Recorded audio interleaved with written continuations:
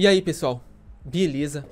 Estamos aqui mais uma vez agora. Eu vou fazer uma classificação aqui de todos os personagens do jogo.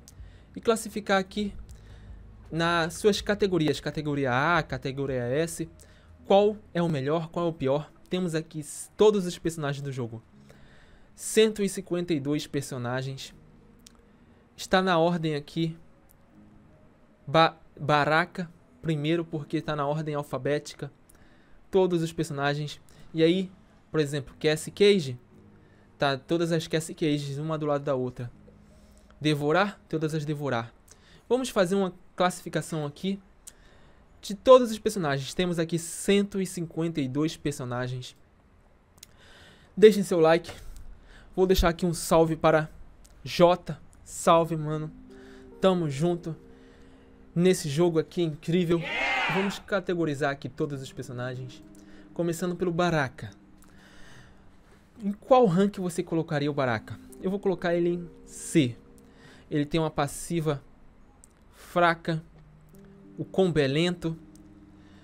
Ele, infelizmente, ele tem dreno no especial 1, o que é bom. Porém, ele vou colocar em categoria D aqui porque ele é personagem desafio e tem um dreno. Somente por isso, mas tem personagens pior que ele que vai ficar em D e melhores que vai ficar acima. Baraka, categoria C. Buraisho. Quase ninguém joga com Buraisho. Ele não serve para quase nada. Nem para bônus. Raramente ele fica em bônus. Vou colocar o Buraisho aqui em C. Cassie Cage, agente secreta. Uma personagem muito boa. Ela já foi útil ali na Torre Edeniana. Ela tem quebra de bloqueio para todas as operações especiais. Personagem de ouro, desafio. Ela é muito boa, categoria A. Essa essa queijo aqui, D. Essa letra D. Essa daqui em B, muito boa, operações especiais. Ela drena quando entra por causa da equipe. Deixa lento. Personagem boa, fica em B, tá bom. Agora, todas as devorar vai para D. Infelizmente não tem uma devorar que fala assim, nossa, essa é uma devorar essencial e essa devorar aqui vai para C, porque é diamante, simplesmente por isso. Todos os Ermec, vamos colocar todos os Ermecs em D, esse aqui em C e esse aqui em C, porque às vezes as pessoas utilizam ele para matar chefe com sifão de almas. É o único DCT, sifão de almas, que não conta como DCT, e aí você pode ficar aplicando sifão de almas nos chefes. Os Eram Blacks agora. Estou sendo um pouco rápido, pessoal, porque tem 152 personagens. Se não for muito rápido aqui e breve, infelizmente vai ficar muito longo o vídeo. Mas vamos lá. Os três Eram Black. Esse aqui tem o especial 2 em bloqueável e crítico se você atingir 90%. Ranking B. Esse aqui ranking B. E esse aqui ranking A.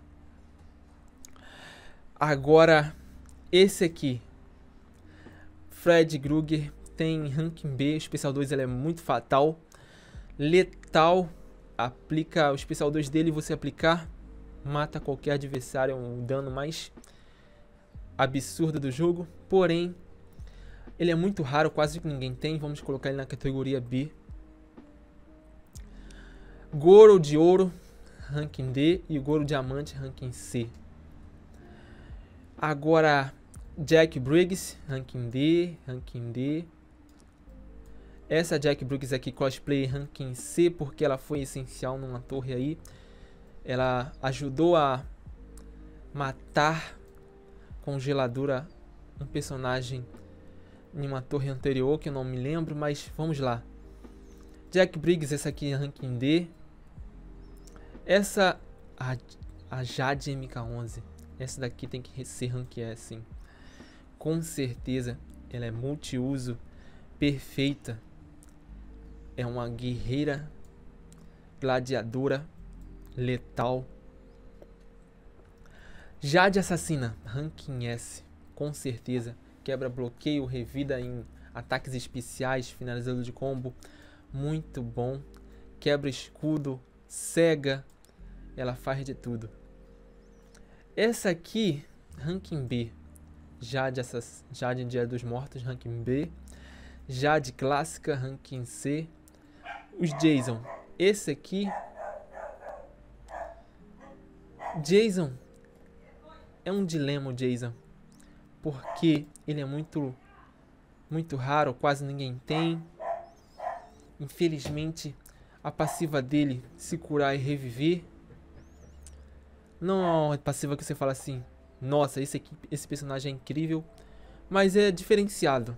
Vamos colocar eles em D, em C. E esse aqui em B. Pronto.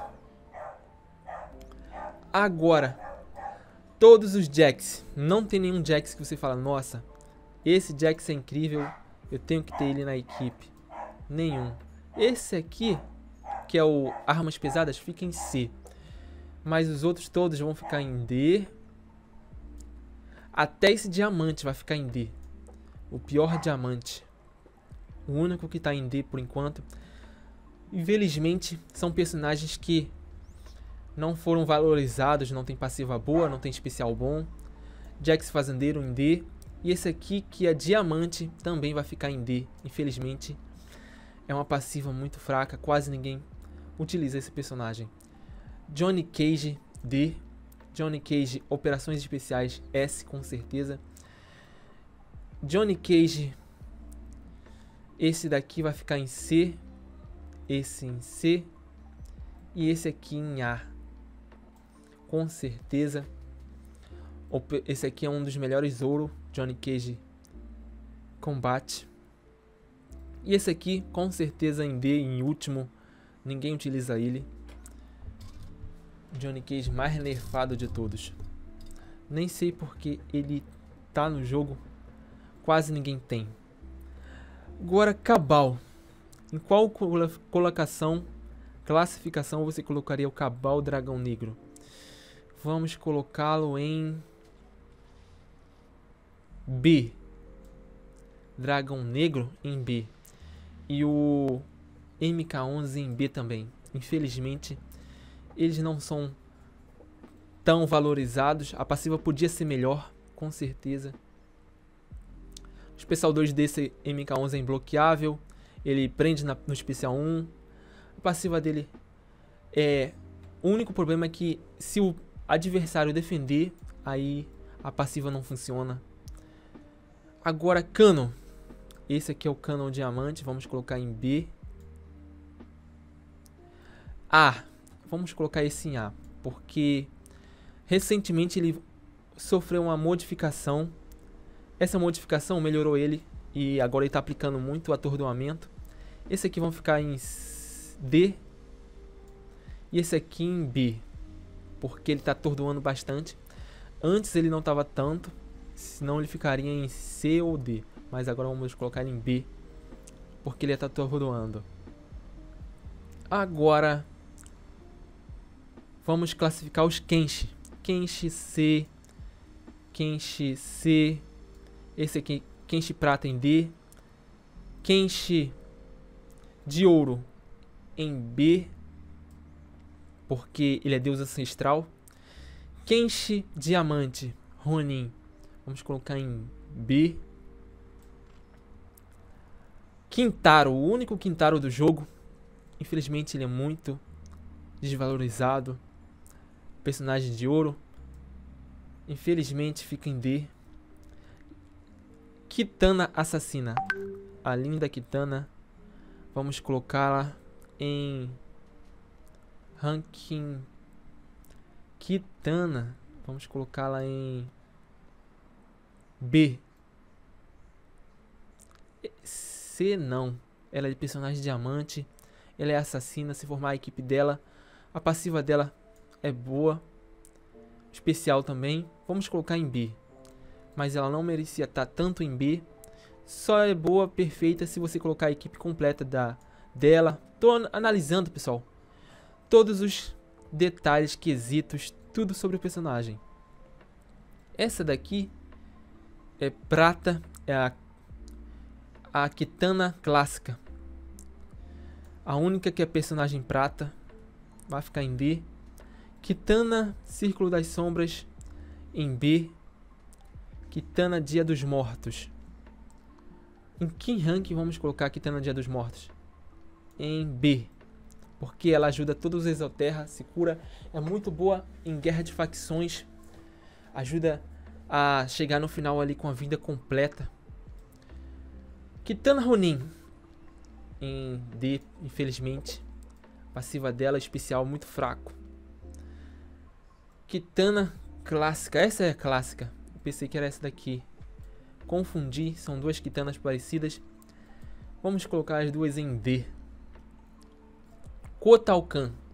Infelizmente, Kotalkan, esses dois aqui vão ficar em D, em C e os outros em D. Todos eles. Esse daqui, infelizmente em D, D, D. Esse aqui em C. Agora Kung Lao. Kung Lao. Esse aqui vamos colocar em C esse em C, esse em D, esse aqui vamos colocá-lo em C. Esse daqui só não vou descer porque ele dá esses dão tem um deles que é truque do chapéu que dá 50% de crítico. Parece que esse aqui truque do chapéu. Vamos descer eles todos. Infelizmente eles não têm especiais assim que você fala, nossa, esse personagem é incrível. Não. Só é essencial ali se você tá no início, não tem outro personagem para jogar, infelizmente. Agora, Letterface em B. Letterface. A passiva dele que ele ele usa a serra fora da luta. Infelizmente vai ficar em C, Letterface. Agora esse personagem de Liu Kang, Deus do Fogo. Em que rank você coloca o Liu Kang, Deus do Fogo? Você colocaria ele junto com... Você colocaria o Liu Kang, Deus do Fogo em, na classificação A ou na classificação S junto com o Liu Kang clássico? Em que rank você colocaria ele? Vou colocar ele em S por enquanto. Ele ainda é um personagem muito bom.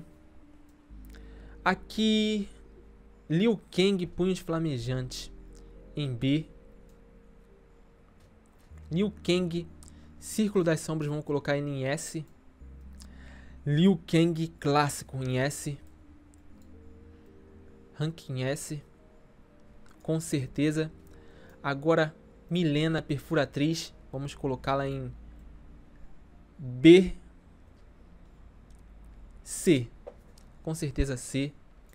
Milena Faminta. Vamos colocá-la em A. Personagem A. Personagem S. Com certeza, porque ela é muito boa.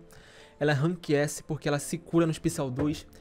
Na, nas guerras de facções, ela é importante. Ela já entra atacando. E aí, se você tem ela, você consegue chegar nas 15 lutas, finalizar. Personagem muito boa. Milena Vampira. Vamos colocá-la em C. C. Milena, essa Milena aqui vai ficar em A. Personagem de ouro, ranking A. Noob Saibot. E agora? Noob Saibot Diamante MK11, ranking S com certeza. E agora no Cybot clássico. Que rank você coloca? Vamos colocar A, com certeza. Esse D, esse ranking D. Quan Chi, esse salva. ele salva os aliados. Vamos colocá-lo em B, C. C com certeza. Se você não tem uns operações especiais Scorpion, coloque ele aqui. Coloque ele na sua equipe, que ele vai te ajudar. Quan Chi, Círculo das Sombras. Vai ficar em B. Muito bom. Se você montar a equipe dos Círculos das Sombras e na Guerra de Facções.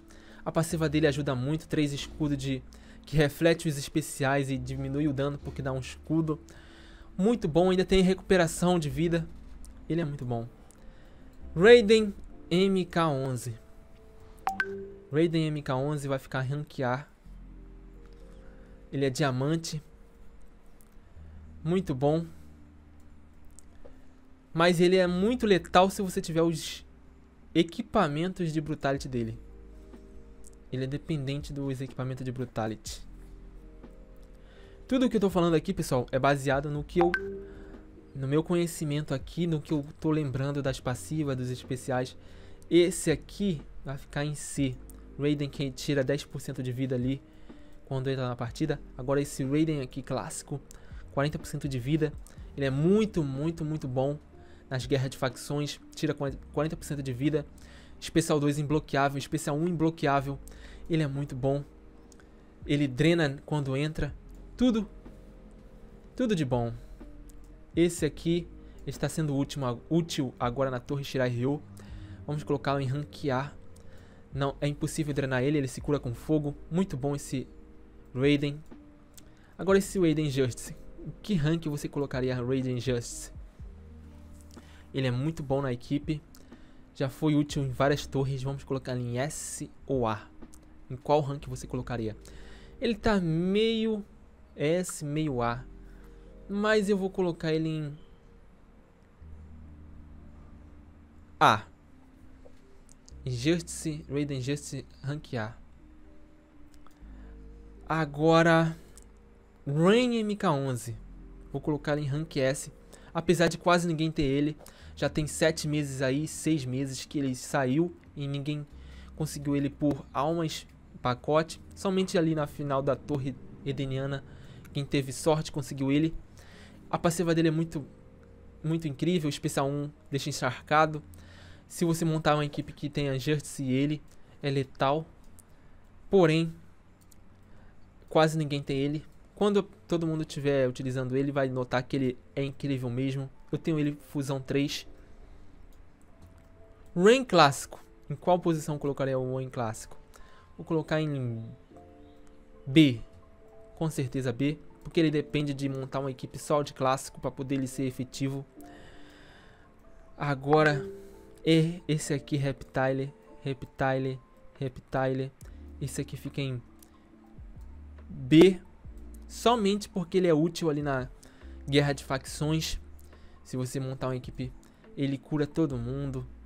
Especial 3 dele você coloca com a armadura do cano. Já era. Ele chega facilmente ali no final das, das lutas, 12. Agora, Reptile clássico. Ranking B. Vamos descer esse Reptile aqui para C. Com certeza. Esse aqui é ranking D. Esse Scorpion MK11, vamos colocar ele em S, com certeza. Um dos melhores personagens, rank S. Scorpion Ninjutsu, vamos colocá-lo em C. Scorpion Infernal, vamos colocá-lo em B ou C, B ou C. B porque ele é útil ali quando você só tem personagens de ouro. Vou deixar ele em B. Muito bom ele. Ele tem 600% de dano quando entra na luta por 6 segundos. Agora, essa aqui. Não, essa aqui não. Tô tirando ela do D. Tá acabando, pessoal. Já tá dando 20 minutos de vídeo. Agora chegou a hora dos Scorpions. Scorpion D. É o melhor prata esse Scorpion.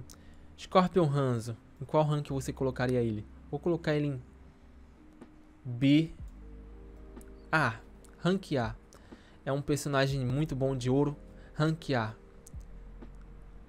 Porque o combo dele é bom.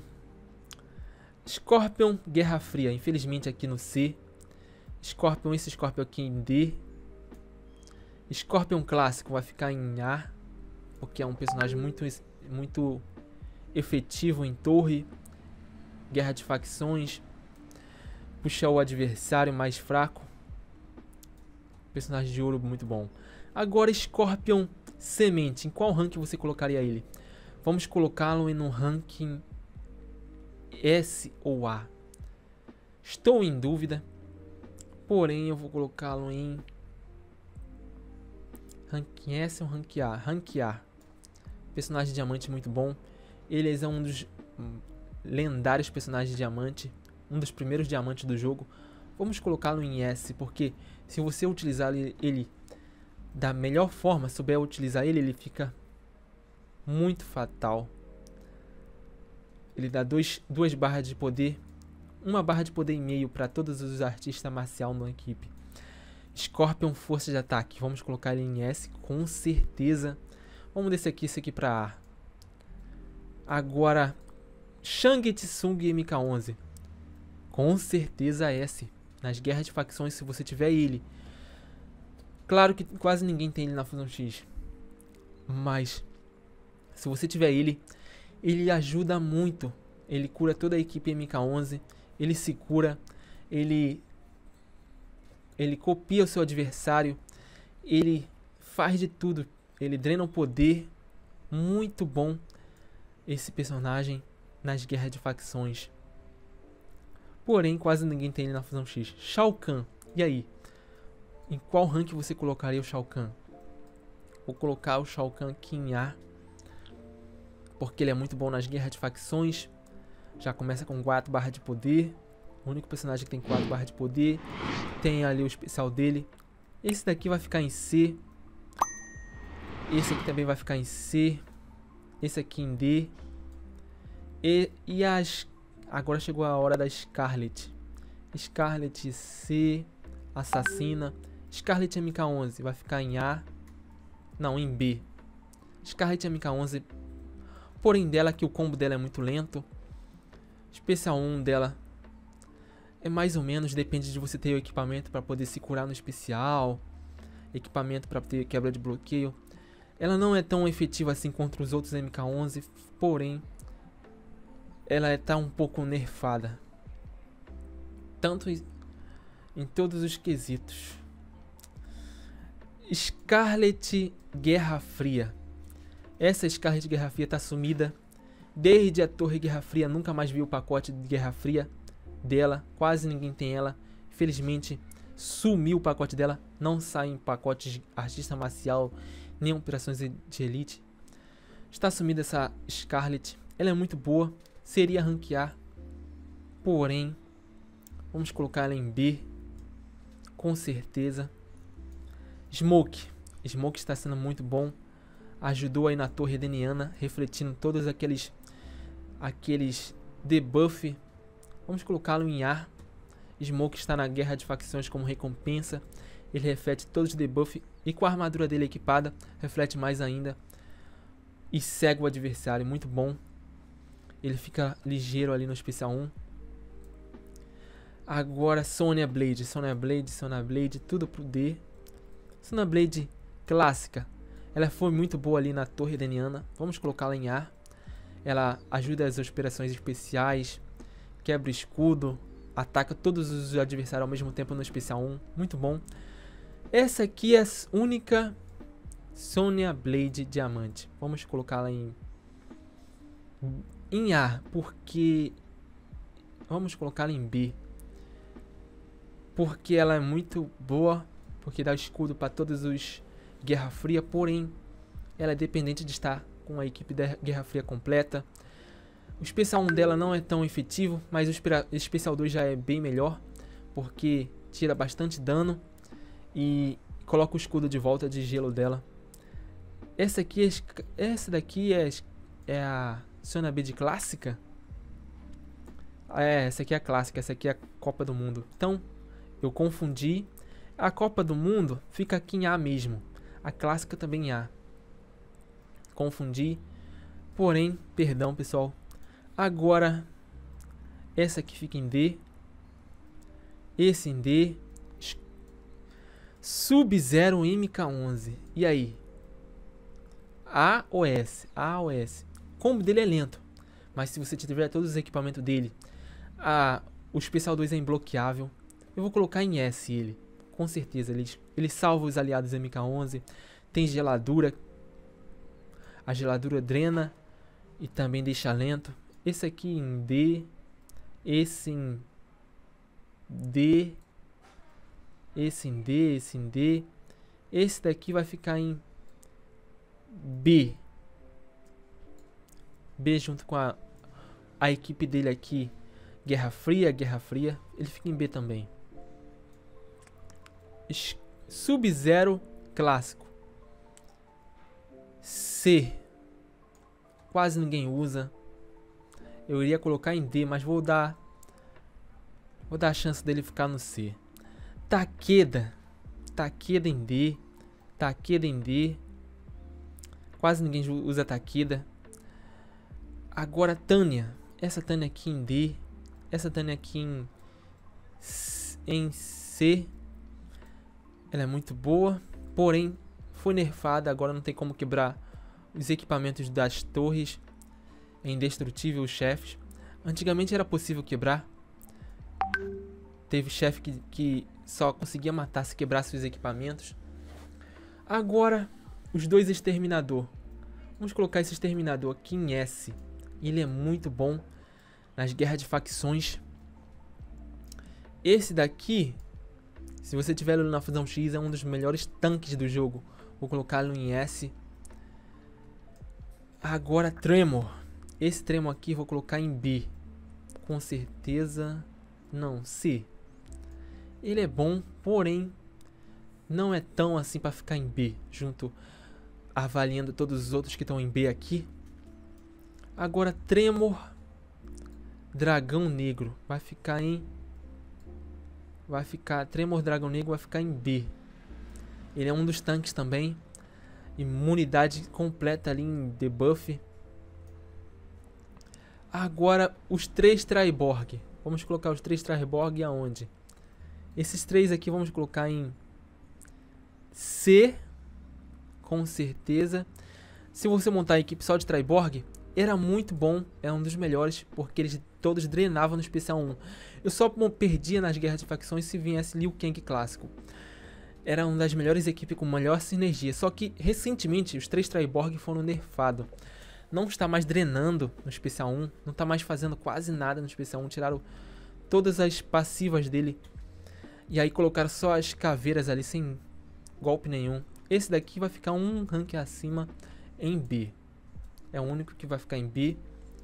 E esse aqui, vamos colocar o Shaolin S.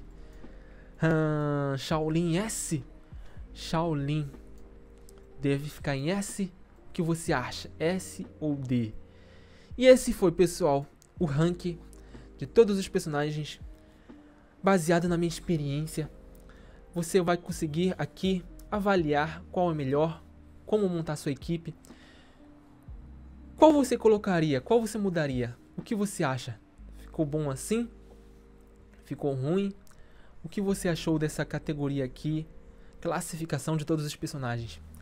Todos os que estão em S estão é, à altura de merecer estar em S.